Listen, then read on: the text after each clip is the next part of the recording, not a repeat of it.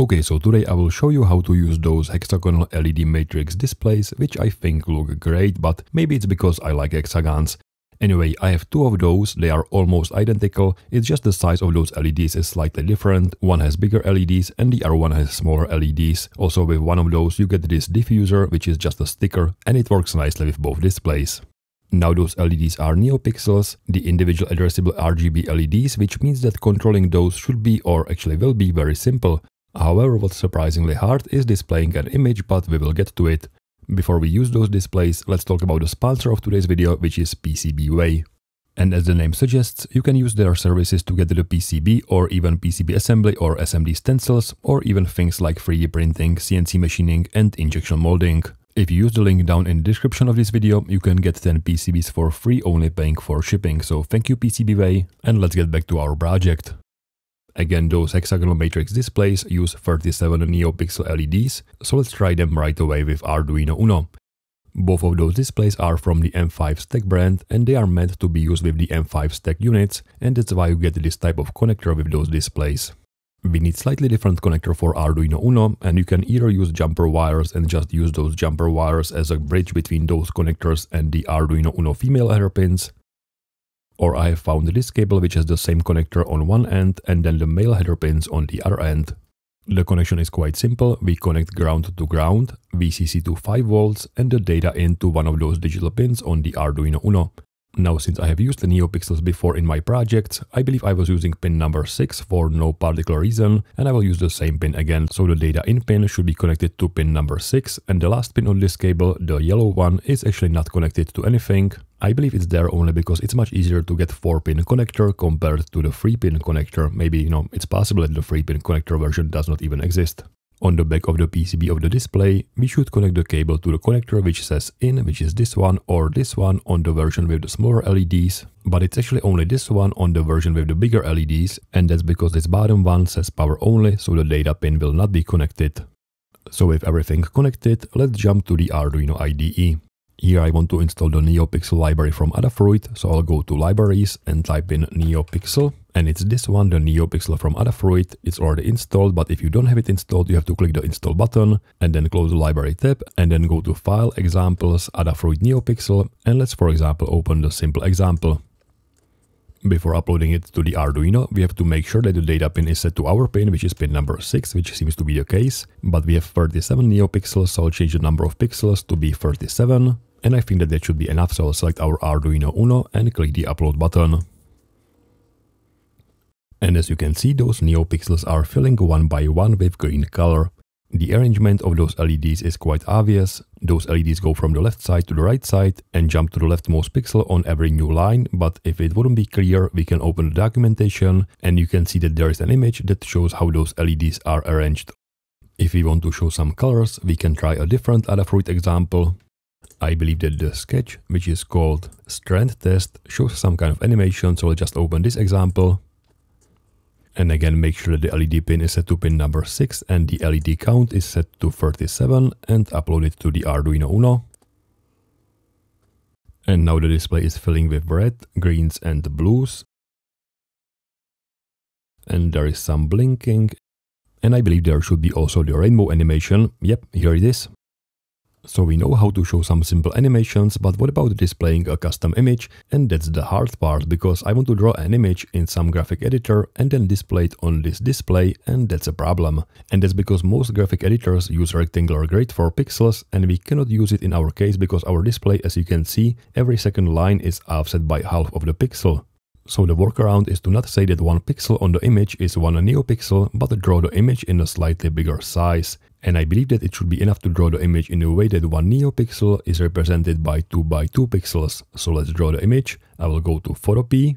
Photopea is a free online graphic editor similar to Photoshop and in here I will create a new image in the size of 14 by 14 pixels because again I want to represent each neopixel with 2 by 2 pixels and we have 7 neopixels on one line and we have 7 lines. Set the background to black color and hit the create button.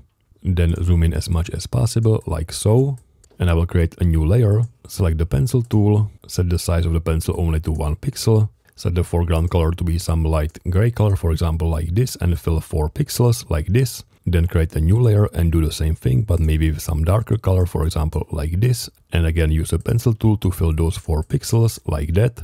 And then I'll select both layers and copy those with hitting the Alt button on the keyboard and dragging those layers around. Now as you can see we have the 3 pixels on the left side and 3 pixels on the right side, but if that wouldn't be the case I will select all the layers and just move them around like so so they are centered, and then I will create a copy like this, and I need one more of those rectangles, and then select those 5 layers, and again create a copy, I need one more dark layer, select those 6 layers, create a copy, and so on and so on. In the end we should have something that looks like a grid. So let's draw some image, for example the digit number 3 and for that I will again select the pencil tool and set the foreground color to be white and then start clicking around to fill those individual areas of those neopixels. Maybe something like this. If I want, I can add some color to this layer by double clicking this layer and opening the layer style and then applying the gradient overlay effect. And as for the gradient, let's for example select this rainbow one and click the OK button and this is the image that we want to show on our display. One thing that we want to keep in mind is that we are currently showing two different colors for each neopixel, which obviously will not be possible with neopixels. Let's just pretend that each neopixel only shows one color. So let's show this image on the real display. Now to do that, we need to get the RGB value for every single neopixel and we can use the eyedropper tool, then click the pixel and write down the RGB values. But we have to do this for 37 neopixels and that will definitely take some time. So I want to automate this a little bit and for that I will use scripting. And thankfully Photopea, just like the real Photoshop, supports scripting and you can go to File, Scripts and open the script window and run the script from here. There are even some predefined scripts, so for example this hello one will show the pop-up window saying hello Photopea. The process layers will go over every single layer and set the name, and the clone layers will copy the layers, but let's stay with the hello world one or hello Photopea one, and what we want to do is we want to sample some colors. Let's quickly close this dialog and I will create a new layer, which I will fill with some pink layer, for example like this. And then I will open this color picker so I can see those RGB values and then again go to File, Script. And we want to get the value of this color and for that we will use color samples. So if I open the documentation for the scripting for Photoshop, we should be able to add a new color sampler. So I'll just copy this code into the clipboard and paste it in here. I will change the X and Y position of this sampler to be only 1 and 1 because I want to sample the top left pixel. And then I will actually assign this to a new variable, let's call it point sample. And let's show this point sample using the alert. So using this pop-up window, click the run button and we see some object and that's because this is the color object, so I want to only show the color of one of those channels, and for that I will say color.rgb.red, and if I click the run button I can see 255, which seems to be the correct value, so let's just copy this two more times, and let's also show the green and blue colors. Click the run button and I can see 255, 0 and 192. So this is working as expected, but I want to be able to get this color from the Photopea and use it in my code. In real Photoshop you can save the file or copy the string into the clipboard, but that's not possible in Photopea or at least I haven't found a way how to do that, so I have to use some workaround because again if I run this script I can see the values but I cannot select them or copy those. And the workaround will be using this prompt dialog. So in our script I will comment out those alert functions and instead show a prompt dialog and usually this is used for entering the value. So if I run the script, I will show the dialog and it will say enter the value and here is a place for entering the value. But if I provide a second string, I can actually set the default value. So if I run it again, there is this default value and what I can do is I can copy this text, this string into the clipboard and then use it in my code. So instead of setting the string to default value, I can as well set it to the red value of our color, like so. And then if I run it, I can see I have 255 and I can even expand it with the green value and the blue value. And if I run it like this, I now have access to all three channels of this pixel. The last important thing is that once we use this point sample, we should delete the color sample by calling the remove all function. So I'll just copy this into our script as well make sure it still works, and now we can expand the script to go over every single NeoPixel.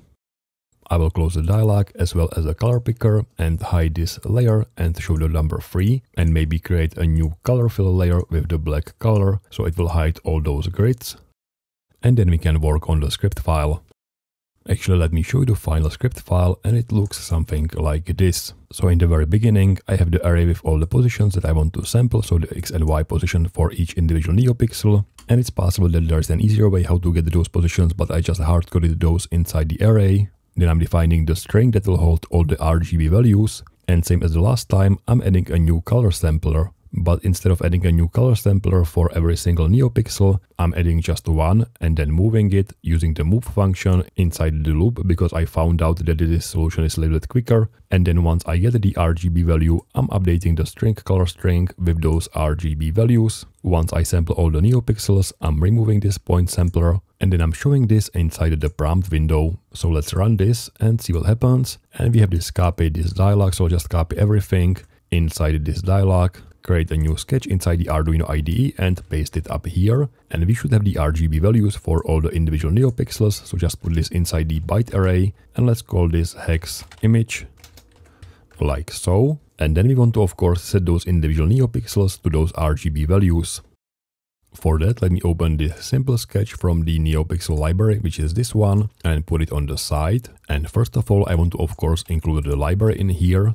Then I want to include the pin definition as well as the number of pixels and initialize the NeoPixel strip like that. Then inside the setup function, I need to call the pixels.begin function. So inside the setup, I will paste the code in here. And then inside the loop, I will pretty much copy everything like so, but I will remove the delay and set the pixels show to be outside this loop. I want to set all the individual NeoPixels based on the values from this hex image array and this array has the RGB values for the first pixel, then the RGB values for the second one, and so on and so on. So I need to use the proper index. So those are the RGB values. I will delete those and instead of use the hex image, and the index of the red value will be i times 3. The index of the green value will be i times 3 plus 1, and the index of the blue value will be i times 3 plus 2. And I think that's pretty much all that's needed, so I'll click the upload button and see what happens.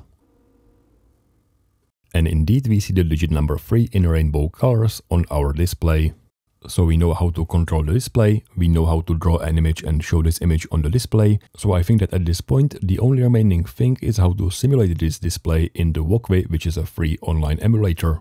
And this should be fairly simple because Wokwi has support for the Arduino Uno as well as for the NeoPixels. So let's jump to Wokwi and in here create a new project using the Arduino Uno. Now if you add a new component and you type in a NeoPixel, we have the NeoPixel ring and the NeoPixel single LED, but there is one more component that is not listed in here, but I've already used this in my previous video. And that's this video, I was using this NeoPixel canvas to simulate the Pimoroni display, and if I scroll down and open the wokwi sketch, I can go to the diagram.json file and find this part which is the wokwi NeoPixel canvas and that's the thing that I want to use in my project. So in my project, I will go to diagram.json file and there is a section with parts. I will add a new part, which will be this NeoPixel canvas. But on this NeoPixel canvas, those LEDs are in the rectangular pattern. So what I need to do to simulate our hexagonal display is to use this NeoPixel canvas for every single line and then offset those slightly. So in my project, I will change this number of rows to be only 4 for the first line and number of columns to be only 1. Then I want to rotate it somehow, I'm not quite sure how, so I'll just connect it the way it is right now. So VDD should go to 5 volts and then the VSS should go to ground and then the data in should go to the digital pin number 6.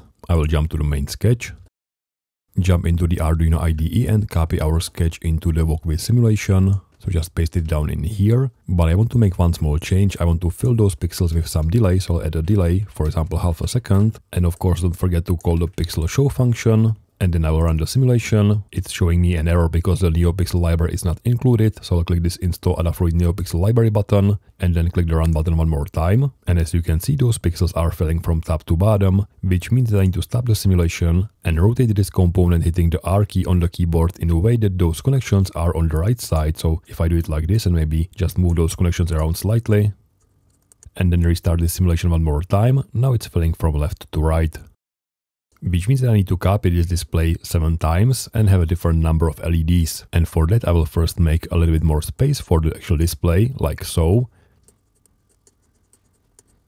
Then I will copy and paste this display and jump into diagram.json file and change the number of rows to be 5 instead of 4. And try to position it in a way that it's aligned with the top line, which is kind of hard because it's snapping to this grid. If I press the G key, I can see the actual grid, and if I don't want this to snap to the grid, I can move it while the Shift key is being pressed, and now it shouldn't be snapping to the grid, so I can just position it right next to the top line. And then I want to connect those together, so VDD, the 5 volts should go to 5 volts, and then the VSS, the ground, should go to VSS to ground and there should be one pin that will be the data out, which is this one, and that will go from the first line, so first line data out will be the data in on the second line, like so. And if I restart the simulation right now, I should see the pixels being filled from the left side to the right side for the first line and then for the second line. And as you can see, there are only two pixels on the second line, which of course matches our image inside Photopea.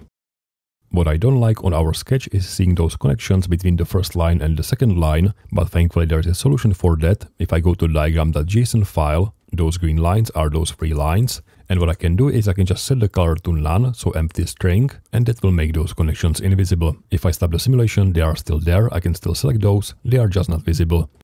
So I can now copy and paste the second line, set the number of pixels to be 6 and position it accordingly, and continue like this with all the lines. On the right bottom of the screen you can see how the display should look like. Again there are 7 lines, so we need 7 NeoPixel canvas elements, and the data out from one line is always connected to the data in on the next line. And here comes the moment of truth, so let's run the simulation again. And since we can see our digit number 3 slowly appearing, we can get rid of the delay and restart it one more time. And we should see the digit number 3 right away. So this is how you use those hexagonal displays inside the online Arduino emulator and with the Arduino Uno. Now as for the other hexagonal displays, I have only found a few. There is this video from Mohit who builds those nice electronic sculptures. And one thing that he built was also this hexagonal LED display, which I think looks kind of cool. This one uses standard 3mm or maybe 5mm one color red LEDs and then he turns it into this like free-form sculpture, which I think looks really great. But again, this is one of very few examples of using hexagonal displays, I mean LEDs being laid out in a way that they are not in the rectangular grid. If you know about any display that also uses this arrangement, please let me know in the comment section. If you have any questions, please put those down in the comment section. As always, all the source files are on GitHub. That's it for today. Thank you very much for watching and I hope to see you soon. Thanks and bye.